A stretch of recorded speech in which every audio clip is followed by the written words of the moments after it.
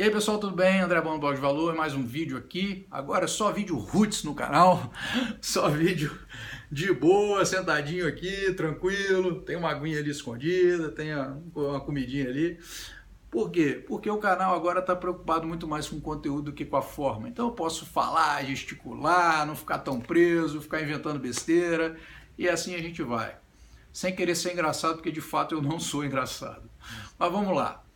Hoje eu queria falar de um tema que é o seguinte, sobre debentures, tá? Debentures dão pau, perfeito? Debentures trazem problemas, tá? Todas? Não, não, claro que não.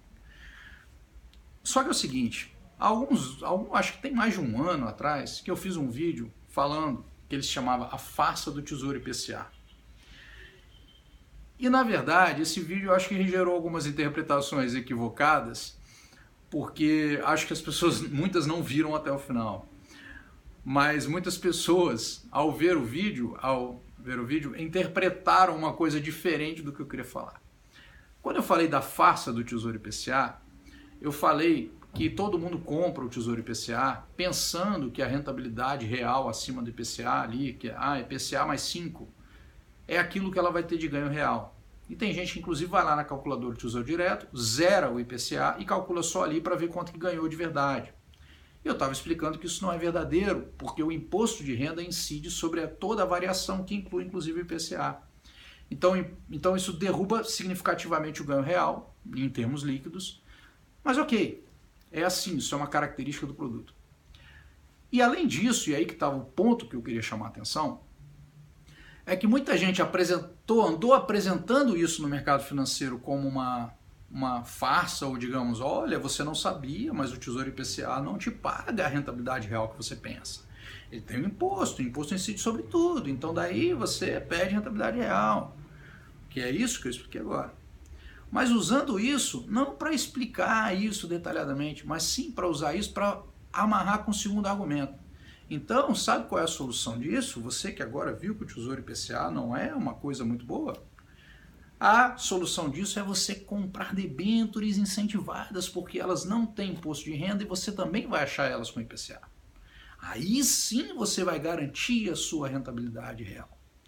Olha, quando eu me deparei com isso no mercado, eu quis mostrar, primeiro, essa característica do Tesouro IPCA, que realmente faz sentido você saber que existe. E segundo, como essa característica era usada para poder você ofertar um outro produto que paga muito mais comissão para as corretoras, para os bancos e para as pessoas que vendem os produtos. Muito mais. Então, um argumento de venda para você detonar um e dizer, tá vendo, Tesouro IPCA, que porcaria que você é? Você tem esse problema aqui, ó. Mas eu tenho a solução e é a debênture incentivada. Tome aí a debênture incentivada. Pô, meu, para com isso. Então, quando você começa a olhar isso, aí você vê as pessoas começando a negligenciarem que não é uma questão de ter imposto ser melhor, ter taxa, é uma questão de risco. É uma questão de risco adicional que você está assumindo por escolher um produto. Aquele produto não paga mais porque a característica dele é, é não ter imposto de renda, porque isso veio do além.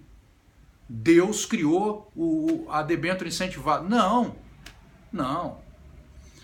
Isso vem de um risco adicional. Porque se ele pagasse a mesma taxa do Tesouro IPCA, ninguém ia comprar debênture, porque ela tem maior risco, ponto final.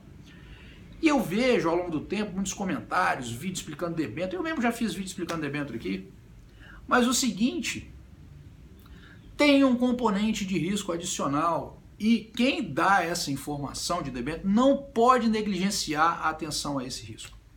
Só que para medir esse risco, para começar, na oferta de ONDB tem lá 300 páginas de material publicitário. Você deveria ler aquilo tudo, tudo, tudo, avaliação de risco, tudo, para que serve a debênture, para que está levantando dinheiro, tudo, tudo. Daí você começar a ter alguma noção vaga de risco. Desculpa, para o investidor individual, para o investidor médio, que é o investidor que não trabalha no mercado financeiro, fazer isso para quê? Para alocar 20 mil reais? Para alocar 100 mil reais? Esse trabalho todo? Aí ninguém faz. Aí isso acontece? Vira loteria vai escolher de taxa. Aí vai escolher de taxa, escolher taxa. Uma vez uma pessoa no Twitter escreveu assim para mim: E aí? Responde pra gente. Tesouro IPCA ou debênture incentivada de tanto? Qual que rende mais? Era um Twitter de uma pessoa de corretora. Eu falei. Aí eu, eu lembro que eu respondi assim. É, alguma coisa tipo. Alguma coisa que eu falei do risco. Eu falei, não, mas não dá para comparar, são riscos diferentes. Aí, não, mas só na, matemática, só na matemática não tem, são riscos diferentes, amigo. E na verdade o cara estava colocando ali para que eu inocentemente fosse lá e pluf, soltasse uma parada que ia parecer que, não, isso aqui é muito melhor. É diferença de risco. Se você não sabe disso. E aí eu vejo muita gente falando, vejo o cara no YouTube, ah, tem a debênture e tal, tem... gente, me preocupa, me dá calafrio ver um investidor médio que não tem a menor condição de fazer uma avaliação séria de uma debênture, tá? É, no máximo alguns parâmetros ele pode ter, olhar o rating e tal, mas que é uma visão muito, muito, muito superficial, tá? E um monte de gente em área de comentário de YouTube, enfim, ah, comprei debênture, comprei debênture, comprei debênture. E nego tá socando debênture no investidor que não tem a noção do que, que é isso. Não, mas não dá pau. Então o cara diz o seguinte, debênture dá pau. Enquanto eu estou fazendo esse vídeo, tem três debêntures dando pau no mercado. Talvez você tenha uma delas. Talvez você esteja passando por isso. Talvez você queira se fazer da sua debênture agora, porque deu um problema e ninguém quer comprar de você. A corretora não quer mais pegar, ninguém quer pegar. Porque não tem saída para esses e tem algumas que já não estão pagando juros, estão dando problema. E aí você compra, parece que só você caiu naquilo. Aí você fica ali, não, meu amigo, não se preocupe com isso não. Um mundaréu de gente caiu nisso aí. Caiu em que sentido? Não é que caiu porque foi enganado ou não foi enganado, mas de certa forma foi induzido a entender que aquilo ali não era um risco que poderia acontecer isso, mas pode. Debenture dá pau de tempos em tempos. Acontece. Acontece. Então, quando você for pensar nisso, tenha isso em mente. Tenha isso em mente, investidor. Eu, André, não compro debênture para mim. Porque eu não acho que eu tenha que detalhar tanto isso aí. Agora, às vezes eu tenho um fundo de renda fixa que tem uma porrada de debênture lá dentro, tá diversificado, tá não sei o quê. Se der um problema, pff, ok, não vou, eu não vou ficar ali com aquele mico na mão. Igual eu já vi investidor com um milhão de carteira e tá com 500 pau em debênture e três com problema. E aí? Então, quando você pensar em debênture, saiba, debênture dá pau de tempos em tempos. E aí vão dizer, é só você escolher debênture boa. Mas quem vai dizer que a debênture é boa? É o cara que te vende? É esse cara que vai te vender? Não, essa é boa. É esse cara que vai dizer?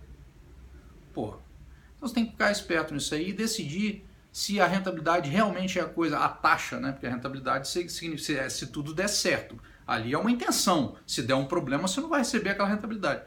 Mas se a taxa é de fato a coisa mais importante no investimento que você quer observar. Tá bom? Debenture dá pau sim, de tempos em tempos. Um grande abraço e até o próximo vídeo.